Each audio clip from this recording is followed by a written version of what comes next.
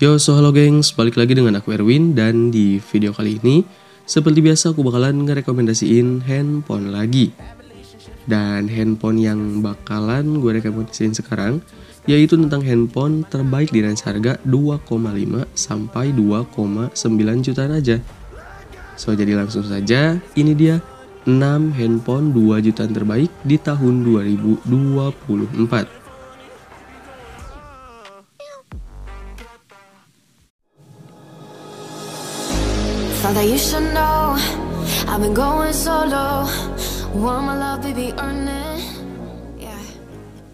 Infinix Note 40 membawa layar AMOLED seluas 6,78 inch dengan refresh rate 120 Hz, resolusi Full HD Plus 1080 pixel kali 2436 pixel, touch sampling rate 360 Hz dan tingkat kecerahan atau brightness maksimum 1300 nits.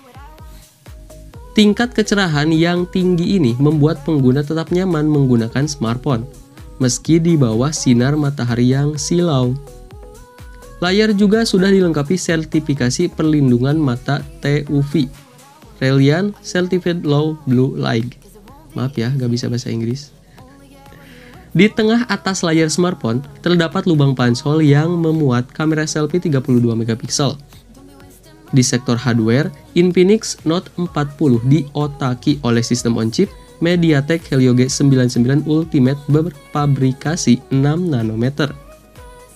Untuk daya, smartphone terbaru Infinix memiliki baterai jumbo 5000 mAh dengan pengisian cepat fast charge 2.0.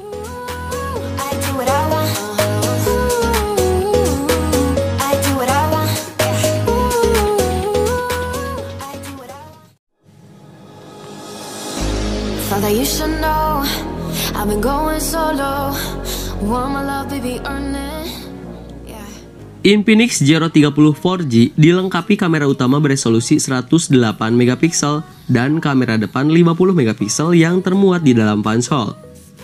Infinix Zero 30 memiliki layar yang sama dengan Zero 30 5G. Tampilannya juga mirip, dengan sedikit perbedaan seperti di bagian modul kamera.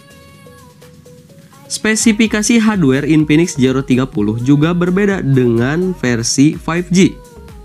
Sistem on-chip yang digunakan adalah MediaTek Helio G99 dengan RAM 8GB yang bisa diperluas dengan extended RAM dan media internal 256GB. Baterainya berkapasitas 5000 mAh dengan dukungan fast charging 45 watt yang diklaim bisa mengisi daya dari 0 hingga 75% dalam waktu hanya 30 menit.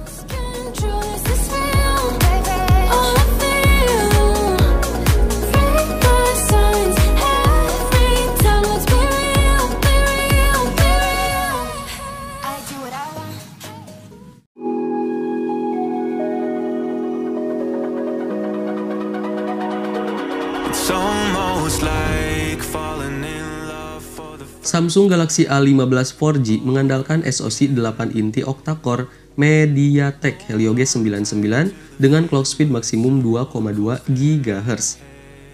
Samsung A15 mengusung layar Super AMOLED 6,5 inci dengan resolusi Full HD Plus 1080 x 2340 pixel, refresh rate 90 Hz, dan tingkat kecerahan atau brightness maksimum 800 nits. Di tengah atas layar, terdapat modul menyerupai tetesan air alias water drop dinamai Infinity U yang membuat kamera selfie 13 megapiksel f2.0. Beralih ke bagian punggung, smartphone ini memiliki kamera utama 50 megapiksel f1.8 AF, kamera ultrawide 5 megapiksel f2.2, dan kamera makro 2 megapiksel f2.4 Kamera ini disusun secara vertikal tanpa modul. Ada sebuah lampu LED flash di sebelah kiri kamera. Samsung A15 ditopang oleh baterai 5000 mAh dan didukung teknologi pengisian cepat atau fast charging berdaya 25 watt.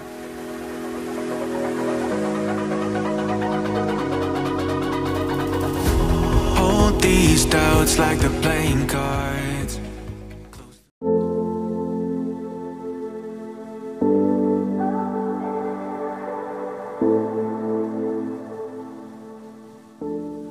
Poco M6 Pro hadir dengan layar AMOLED berukuran 6,67 inci dengan resolusi Full HD Plus 2400 x 1800 pixel. Refresh rate 120 Hz. Layar ini juga dilengkapi kaca pelindung Corning Gorilla Glass 5 dan pemindai sidik jari in-display berjenis optical. Di tengah atas layar, terdapat lubang punch hole yang memuat kamera depan 16 megapiksel f2.45 Berpindah ke punggung, terdapat tiga kamera belakang yang terdiri dari kamera utama 64 megapiksel, kamera ultrawide 8 megapiksel f2.2 bidang pandang 118 derajat, dan kamera makro 2 megapiksel f2.4. Untuk jeroan, Poco M6 Pro ditenagai oleh sistem on-chip Helio G99 Ultra dari MediaTek. Poco M6 Pro disokong oleh baterai jumbo berkapasitas 5000 mAh dengan teknologi pengisian cepat atau fast charging berdaya 67 watt.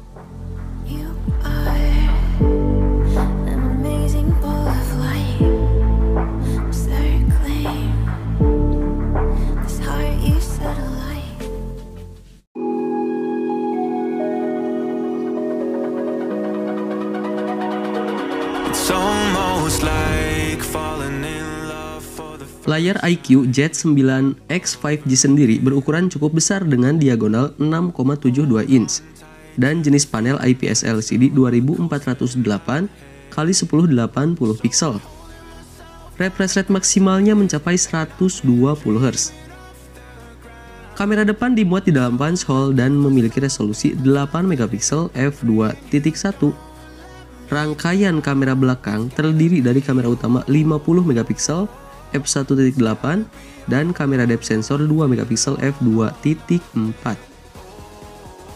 Untuk memorinya, IQ Z9X menyediakan kapasitas RAM yang termasuk besar untuk ponsel di kelasnya, yaitu mencapai 12 GB. Masih ditambah dengan opsi virtual RAM hingga 12 GB. Ruang media internalnya 256 GB dan masih bisa ditambah dengan micro SD.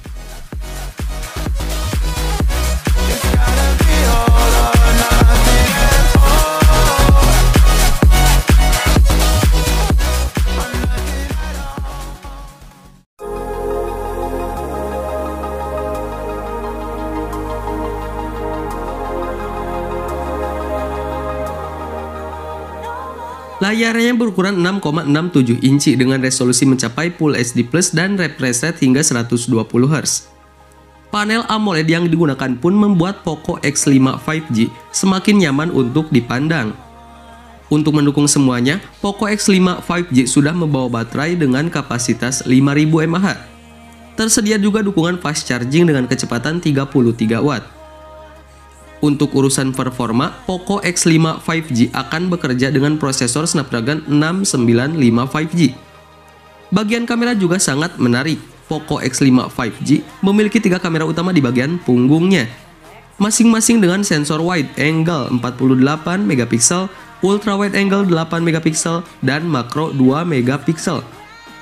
Sementara di bagian depan ada kamera selfie 13 megapiksel.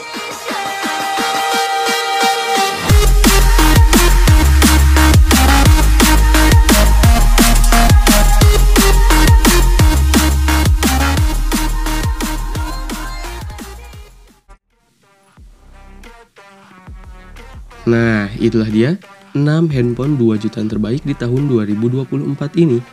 Gimana, tertarik untuk membelinya? So, buat kalian yang tertarik, langsung aja dicek di kolom deskripsi. Di sana saya bakal sertakan link pembelian untuk setiap produk yang ada di dalam video ini. Terima kasih, Gue dan Bye.